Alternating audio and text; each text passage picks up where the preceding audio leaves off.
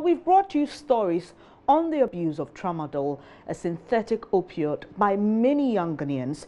A national debate ensued on the impact of this abuse on the health and future of Ghana's youth and how to end the menace. Well, the Mental Health Authority has been meeting key players in the fight against tramadol abuse and came up with some recommendations I'll be showing you later. But now, uh, let me take you to the FDA's uh, conference or discussion on how to end tramadol abuse. The health minister is currently speaking. To be invited to participate in this important life-saving initiative. Government is supporting and will continue to support initiatives aimed at improving the health of our citizens. Investing in people is one of the appropriate strategies to improve the standard of living of Ghanaians. Investing in people should be complemented by investments in health and Ghana's socio-economic standards can only be improved by healthy citizens.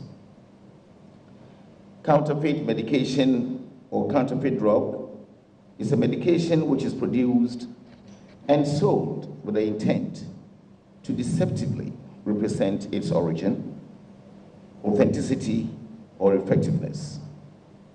A counterfeit drug may contain inappropriate quantities of ingredients, or probably even none. May be improperly processed within the body may contain ingredients that are not on the label or may be supplied in the illicit supply chain. They are also found to commonly contain cornstarch, potato starch, sawdust, or even chalk. The menace of pharmaceutical crime has become a global phenomenon, which is a threat to public health and poses a significant threat to security and economies of countries. Production and trafficking in is a multi-billion illegal business which is sustained largely by the lure of high financial gains combined with a perceived low risk of detection and prosecution. By WHO, an estimated 1 in 10 medical products in low and middle income countries is substandard or falsified. And on the Ghanaian market, you can find everything. The recent issues on the abuse of drugs, including tramadol and codeine, has become a national threat which requires a concerted effort by all stakeholders to curb it. The effects of drug abuse on the individual, society, and the nation at large includes, but not limited, to the following. Loss of revenue, the nation loses money in the form of tax to cater for drug addicts at the psychiatric hospitals, prisons, and rehab centers. Loss of productivity. These victims become inefficient at workplaces. The result in less and less production efforts. Injuries and fatalities due to road accidents and their related consequential health and vehicle maintenance expenditures.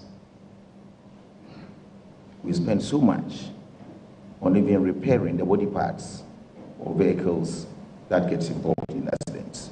And all are imported and paid for in scarce resources, dollars in our country.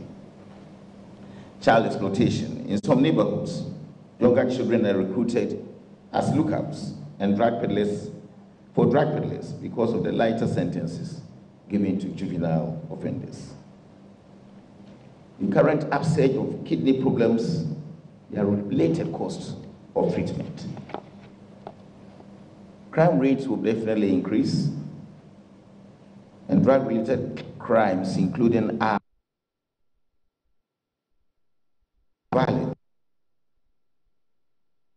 individual users, and gangs.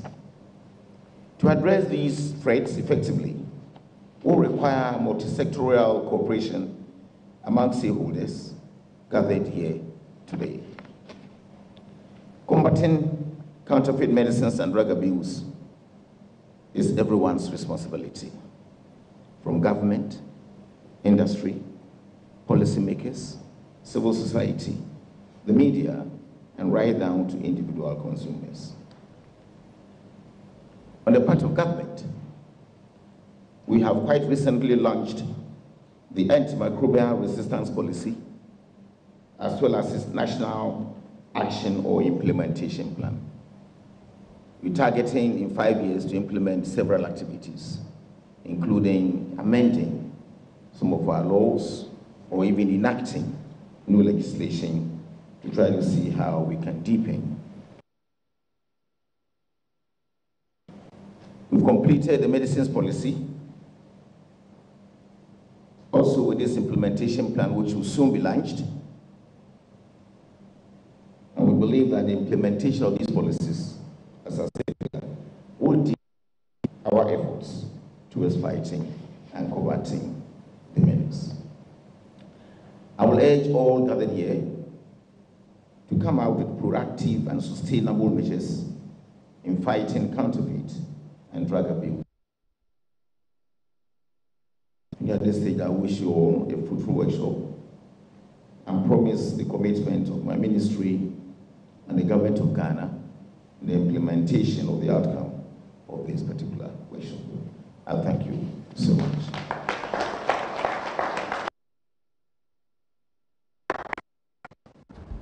Health Minister Kwaku Agyeman Manu there will bring you more stories from that uh, forum or stakeholder discussion on how uh, to combat counterfeit medicine and drug abuse.